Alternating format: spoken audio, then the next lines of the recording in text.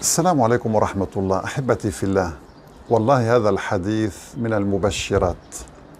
يذهب همك ويجعلك أسعد الناس. يشعرك أن الله يحبك. يشعرك أن النبي رحيم بك. أعطانا هذه المكافأة سواء في رمضان أو خارج رمضان أو خلال أيام العيد. أسأل الله سبحانه وتعالى أن يجعل أيامنا كلها رمضان وكلها أعياد إن شاء الله. استمع معي أولا لهذا الحديث العظيم ثم نتدبر هذه المعاني الرائعة جدا. النبي عليه الصلاة والسلام يقول إن لله عتقاء في كل يوم وليلة.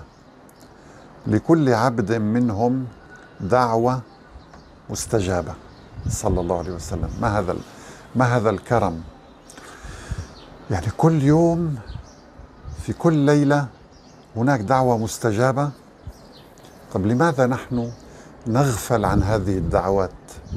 لماذا ننشغل بأمور تافهة ونسعى وراء وراء أسباب لا توصل لا توصلنا لشيء؟ وننسى أن لكل عبد دعوة مستجابة. هذه الدعوة المستجابة أخي الكريم غالبا ما تكون في الثلث الأخير من الليل في وقت السحر. لذلك يقال إن سيدنا يعقوب عليه السلام عندما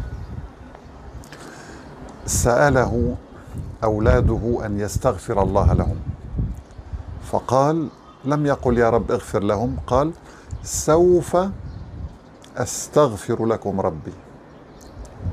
يعني أخر الاستغفار لوقت السحر لأنه وقت استجابة. اليوم اللحظات الأكثر الأكثر ضغطا على الإنترنت نجدها في أوقات السحر. يعني في منتصف الليل وما بعد حتى الفجر. معظم الناس ينشغلون بمواقع تافهة أغاني آه، مواقف كوميدية آه، فضائح آه، هذا يتحدث على هذا هذا ينتقد هذا. مسلسلات أفلام مقاطع يعني أنت تراكم في صحيفتك أعمال لا فائدة منها على الأقل. يعني إذا لم تقتنع معي إن هذه الأعمال لا ترضي الله على الأقل ليس فيها فائدة. يعني الأغاني والمسلسلات وهذا اللهو والعبث إذا كنت تظن أنها مباحة على الأقل هي لا ترضي الله. أكيد الله لا يرضى لعباده اللهو والعبث ومن الناس من يشتري لهو الحديث يضل عن سبيل الله بغير علم. فمثل هذا الإنسان أخي الحبيب الذي يلهو ويعبث كيف يستجيب الله دعاءه وقلبه غافل؟ لا يتذكر الله إلا عندما تصيبه مصيبة. عندما يمرض يتذكر الله. عندما يضيق به الحال يقول يا رب في حالة الرخاء لا أحد يتذكر الله إلا القليل طبعا إلا ما رحم ربي. لذلك كل ليلة هناك عتقاء من النار. ما معنى عتقاء؟ يعني الله عز وجل في كل ليلة يأمر الملائكة أن تسجل أسماء يعني سأقول لكم موقف ربما يصور لكم يعني القضية ولو ولله المثل الأعلى. تخيل أنك في سجن والدنيا سجن المؤمن على فكرة. يعني المؤمن في الدنيا كأنه يعيش في سجن ينتظر الخروج. حاله ينتظر أن يخرج للقاء الله عز وجل. بينما الكافر يظن أن الجنة في الدنيا أنه سيخلد في هذه الدنيا. تخيل أنك في سجن وهناك مئات الناس معك. وكل يوم هناك نشرة أو هناك أسماء لمن سيفرج عنهم. تخيل إحساسك كيف تترقب أن يكون اسمك ضمن هؤلاء. لو جاء أحدهم وقال لك هناك طريقة لتجد اسمك بين هؤلاء ألا تقوم بها ألا تفعل ذلك؟ مهما كلفك من الجهد والعمل والتعب. طب القضية هنا أبسط بكثير. تضمن أن يكون اسمك بين هؤلاء الذين أعتقهم الله من النار خلصهم من النار. يعني العبد نقول أعتق عبدا. العبد كان عبدا أعتقه أعطاه حريته. أعتقك الله من النار يعني منع النار عنك حرمك على النار وأدخلك الجنة كتب لك الجنة باختصار. أصبحت من أصحاب الجنة في كل ليلة. ف ولكن متى سيأتي اسمي مثلا؟ في أي ليلة سيأتي؟ أنا لا أعلم. وأنا لي دعوة مستجابة كما قال النبي عليه الصلاة والسلام. إن لله عتقاء في كل يوم وليلة. يعني في النهار هناك ملائكة يكتبون أسماء من أعتقهم الله من النار كل يوم في النهار وكل ليلة. فينبغي أن تترقب أو أن تعمل عملا يجعلك من عتقاء الله سبحانه وتعالى من النار. طيب ما هي هذه الأعمال التي تجعلني أكتب عند الله من أصحاب الجنة؟ إن شاء الله جميعا. القضية بسيطة جدا أخي الحبيب. أبسط مما تتصور. أول شيء أن تثق أن الله عز وجل قادر أن يعتقك من النار ويدخلك الجنة. الثقة بالله. كثير من الناس يعبد الله ولكن لا يثق به. تقول له الله قادر أن يرزقك؟ يقول لك كيف؟ إذا لم أعمل كيف يرزقني الله؟ تجد أن دماغه تفكيره متجه باتجاه الأسباب وينسى أن هناك من يتحكم بهذه الأسباب وهو الملك عز وجل. فلذلك الثقة بالله موضوع مهم جدا. كثير منا فقد هذه الثقة. الله يقول أنا عند ظن عبدي بي فأنا أظن أن الله قادر أن يغفر لي ويكرمني ويعتقني من النار. الثقة بالله أخي الحبيب مهمة جدا. يمكن أن آه، نسميها حسن الظن بالله. أن يكون ظنك بالله حسنا. تظن أنه قادر أن يغفر الذنب. عندما يقول العبد اللهم اغفر لي فإنه لا يغفر الذنوب إلا أنت. الله يجيب ويقول أعلم عبدي أن له ربا يغفر الذنب ويأخذ به ويشهد الملائكة أنه قد غفر لهذا العبد. بمجرد أن علم أن له ربا يغفر الذنب. تصور أخي الحبيب مدى رحمة الله مدى يعني رحمة هذا الإله العظيم القائل ورحمتي وسعت كل شيء. والله أيها الاحباء مثل هذا الحديث يعني يجعلني أنا شخصيا أشعر بالسعادة. أن هناك الها خلقني وأراد أن يدخلني الجنة. أراد لي أن أدخل الجنة. أراد أن ينقذني من النار.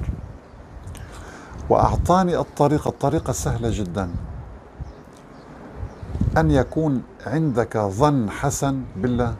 لذلك النبي عليه الصلاة والسلام يقول من كان آخر كلامه من الدنيا لا إله إلا الله دخل الجنة. ما معنى هذا الحديث؟ هذا الحديث يدل على أن الإنسان الذي عاش حياته يثق بأن هناك إلها واحدا هو الذي يغفر الذنوب وهو الذي يسير الكون. وهو الذي بيده كل شيء بيده مقاليد الكون بيده مقاليد كل شيء. هذه الثقة تجعلك تسارع إلى الصلاة. انظر الذي يجعلك تسارع إلى الصلاة ليس الخوف من العقوبة لا الحب في الله. عندما تدرك كم هذا الإله يحبك عندما تدرك محبة الله لك عندما تدرك أن رحمة الله كبيرة جدا واسعة جدا. ستجد نفسك تسارع للصيام تسارع للصدقة. إذا آذاك أحد تتبسم وتصبر وتحتسب الأجر عند الله لتكتب مع الصابرين من أجل الله. واصبر وما صبرك إلا بالله. وعباد الرحمن الذين يمشون على الأرض هونا يمشي بهدوء بتواضع وليس بتكبر. وإذا خاطبهم الجاهلون قالوا سلاما.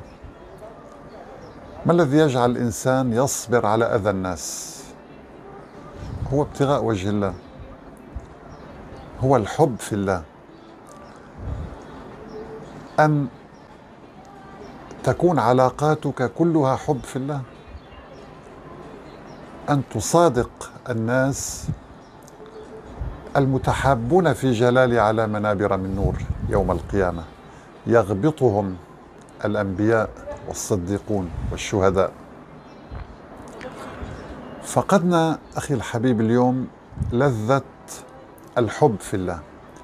أن تحب شخصا فقط تحبه لله وليس لشيء آخر.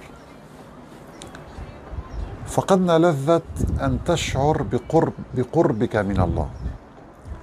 أن هذا الإله العظيم ينظر إليك يسمعك يراك يعلم حالك. ربكم أعلم بما في نفوسكم. هو أعلم بكم إذ أنشأكم من الأرض وإذ أنتم أجنة في بطون أمهاتكم. هو أعلم. الله لطيف بعباده يرزق من يشاء وهو القوي العزيز. هذا الإله لطيف بك. أنت الآن تعيش على أرض. هذه الأرض التي نعيش عليها هل تشعر بأي شيء بأي إزعاج؟ وضع لك قيمة الجاذبية المناسبة لك. إذا كانت أقل من ذلك ستطير وإذا كانت أكثر من ذلك ستجذب ولا تستطيع الحركة. وضع لك نسبة معينة من الأكسجين في الهواء. لو زادت عن هذا الحد أقل شرارة سيشتعل الهواء. ولو نقصت لمت اختناقا. يموت الإنسان اختناقا إذا قلت نسبة الأكسجين. وضع لك النسبة المناسبة. وضع لك كمية الماء المناسبة. على الأرض هناك ثمانية مليارات إنسان. كلهم يستفيدون من الماء. وضع لك كمية الطعام المناسبة. ثمانية مليارات إنسان يأكلون الآن في هذه اللحظة كلهم يأكلون ويشربون ويتنفسون. هذه هي رحمة الله. هذا هذا دليل محبة. الله رفهنا في هذه الدنيا. أنت مرفه أخي الحبيب. تخيل لو أن هذا الهواء الذي تتنفسه والمطر الذي ينزل علينا الماء الذي نشربه لو كان بيد إنسان ماذا فعل؟ والله لو كان بيد إنسان لمنعه لخنق الناس. قل لو أنتم تملكون خزائن رحمة ربي إذا لأمسكتم خشية الإنفاق وكان الإنسان قتورا. إذا أخي الحبيب سأعيد قراءة هذا الحديث أرجو أن تتذكره. إن لله عتقاء في كل يوم وليلة. إذا في كل يوم وفي كل ليلة. لكل عبد منهم دعوة مستجابة. فحاول أن تدعو الله بالمغفرة أولا والرحمة والعتق من النار. دعك من أمور دنيوية. أمور الرزق. سنموت. سنعيش فترة ونموت. المرض سينتهي بالموت. المخاوف والظلم والأحزان. كل كل كل كل شيء في الدنيا هموم ومصائب سينهيها الموت. اجعل دعوتك لما بعد الموت. اجعل دعوتك أن يرحمك الله سبحانه وتعالى. نسأل الله عز وجل أن يرحمنا وإياكم وأن يعتقنا من النار. وأن يلهمنا وقت الإجابة إن شاء الله جميعا. وتحرى الثلث الأخير من الليل عندما يتجلى الله على عباده. فإن شاء الله تكون دعوتك مستجابة. وآخر دعوانا أن الحمد لله رب العالمين. والسلام عليكم ورحمة الله تعالى وبركاته. حتى يتبين لهم أنه الحق.